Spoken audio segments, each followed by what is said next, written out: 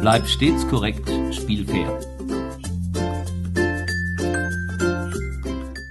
Trainer, du sagst uns immer, wir sollen uns stets an die Regeln halten.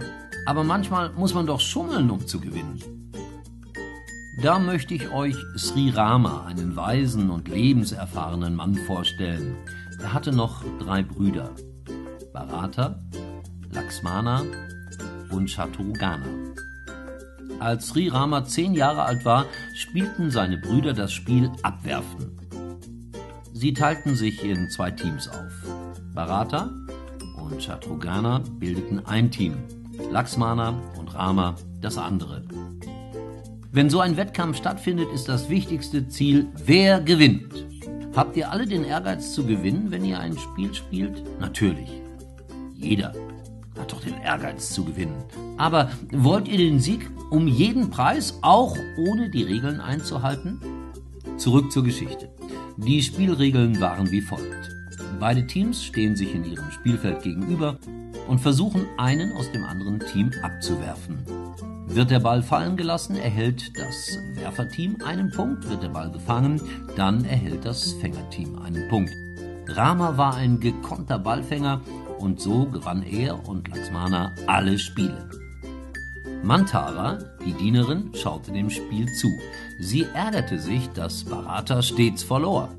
Als die Teams eine Pause machten, ging sie zu ihm und sagte, Du darfst das Spiel nicht immer verlieren, du musst versuchen, um jeden Preis zu gewinnen.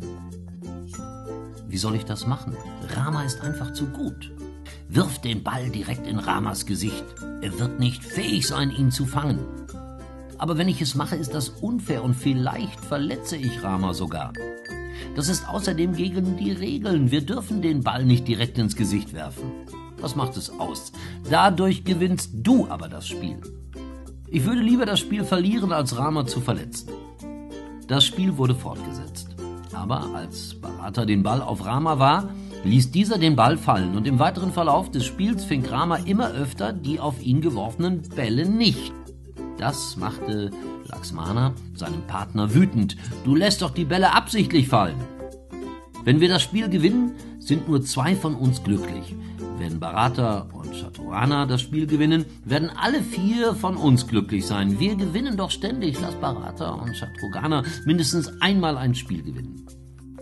Dieses Verhalten zeugt in beiden Teams von Brüderliebe.